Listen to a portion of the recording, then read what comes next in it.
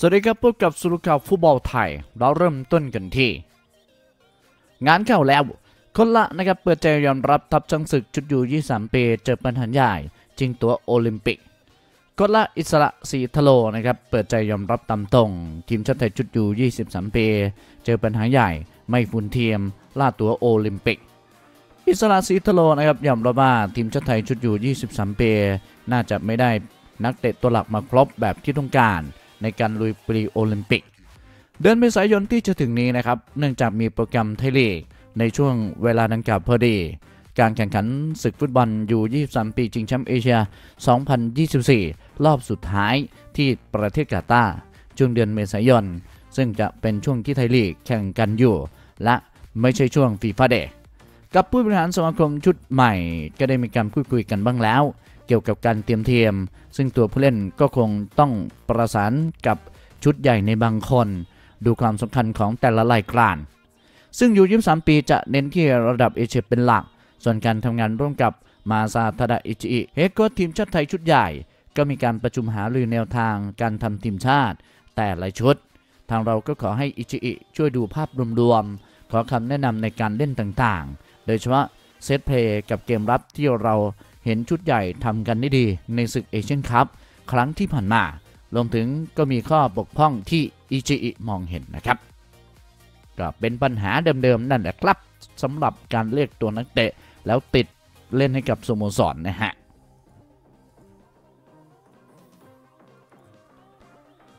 AF เปิดอันดับล่าสุดลีกไทย บนทวีปเอเชียออสเตรเลียพุ่งแซงมาเลเซีย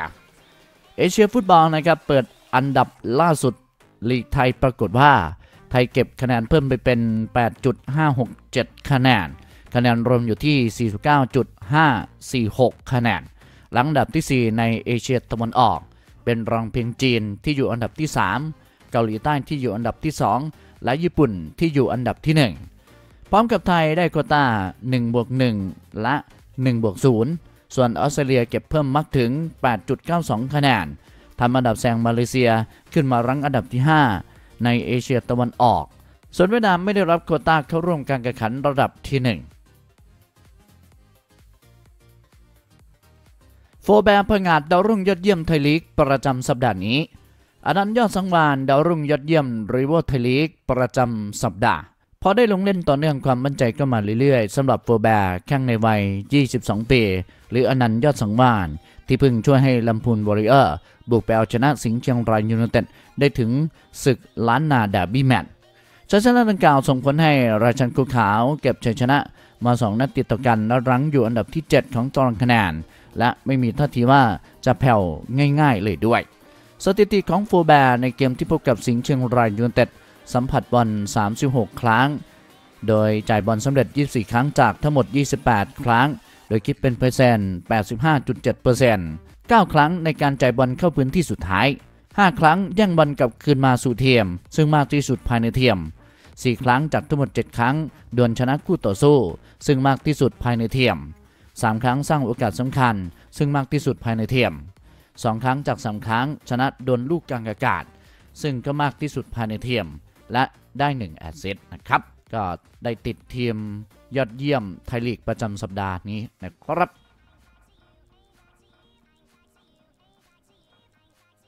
ด่วนพบอีกแล้วกองหลังลูกครึ่งไทยไนจีเรีย สุดแข็งแกร่ง เกิดที่เมืองไทย โอกาสติดทีมชาติไทยสูงมาก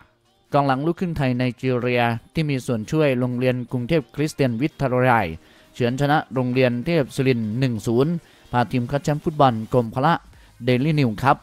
2024เผยความรู้สึกหลังจบทัวร์นาเมนต์แมตช์ และวางเป้าหมายต่อไปหลังจากนี้ JR ดีกรีทีมชาติไทยชุด U17 ปี จากสโมสรทรูแบงค็อกยูไนเต็ดเจ้าของตำแหน่งผู้เล่นยอดเยี่ยมของทัวร์นาเมนต์แมตช์นี้เปิดเผยว่า รู้สึกดีใจที่ทำตามเป้าหมายเป็นแชมป์ได้ หลังจากนี้เป้าหมายก็คือพัฒนาตัวเองไปเรื่อยๆครับ เพื่อแข่งขันรายการต่อไป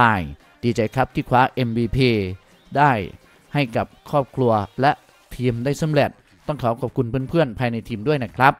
ส่วนประโยชน์นะครับที่ได้จากทัวร์นาเมนต์นี้เราได้เจอกับคู่แข่งที่มาหลายสไตล์ เราได้เรียนรู้ว่าเขาเล่นกันยังไง ได้เจอกับคู่แข่งที่เก่งๆ ส่วนข้อดีของผมคือวิ่งเร็ว และเล่นลูกกลางอากาศได้ดีครับ ส่วนสิ่งที่ต้องพัฒนาก็คือเรื่องอารมณ์ในสนาม และการผ่านบอลครับ ส่วนเป้าหมายต่อไปของผม ขอมองไปที่สโมสรก่อนครับ สุดท้ายแล้วขอขอบคุณแฟนบอลทุกคนมาให้กำลังใจพวกผม และขอขอบคุณเพื่อนร่วมทีมที่ช่วยกันเล่น ขอบคุณมากครับ วิชั่นกล่าวปิดท้ายเดี๋ยล่าสุดนะครับก็อยู่ในริดรายชื่อนะครับที่จะดันขึ้นสู่ทีมชาติไทยด้วยนะครับ ตอนนี้ก็ติดทีมชาติไทยชุดอยู่17 ปีนะฮะ ตอนนี้ก็กำลังฝึกวิทยายุทธ์นะครับ น่าจับตามองมากนะครับวิชั่นอินอารามนะครับ เป็นลูกครึ่งไทยไนจีเรีย แต่ว่าอ่า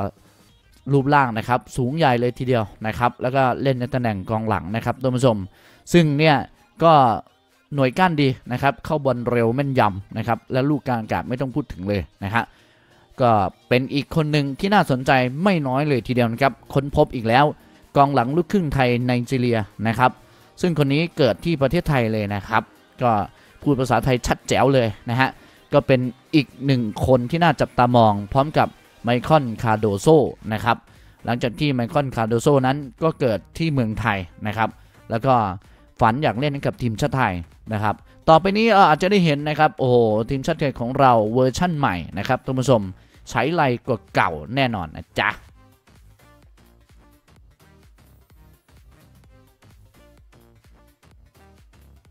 เป้าหมายเข้ารอบบอลโลกจีนควักจ่ายโค้ชใหม่ถึง 58.5 ล้านบาท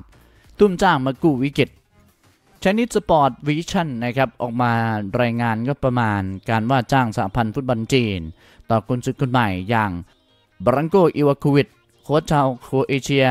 อดีตกุนซือโอมานที่จะเข้ามาแก้ปัญหาของทีมชาติจีนในศึกฟุตบอลโลก 2006รอบคัดเลือกโซนเอเชีย ว่ามีค่าจ้างเงินเดือนต่อปีสูงถึง 1.5 ล้านยูโรรายงานดังกล่าวนะครับระบุว่าเงินค่าจ้างในรูปแบบเงินเดือนต่อปีของบรังโกอิวานโควิช โค้ชชาวโครเอเชียในวัย 69 ปีสูงถึง 1.5 ล้านยูโร หรือคิดเป็นเงินไทยก็ประมาณ 58.5 ล้านบาท เฉลี่ยต่อเดือนรับอยู่ที่ 4.87 ล้านบาทโดยสำหรับโปรแกรมทีมชาติจีนในศึกฟุตบอลโลก 2006 รอบคัดเลือก โซนเอเชียเดือนมีนาคม ในวันที่ 21 มีนาคมนะครับ จะพบกับสิงคโปร์จะจะออกไปเยือนนะฮะ และวันที่ 26 มีนาคมจะพบกับทีมชาติสิงคโปร์จะเล่นในบ้าน ดิกสุกาวฟุตบอลไทย ซึ่งเป็นรอบเย็นของที่ 27 กุมภาพันธ์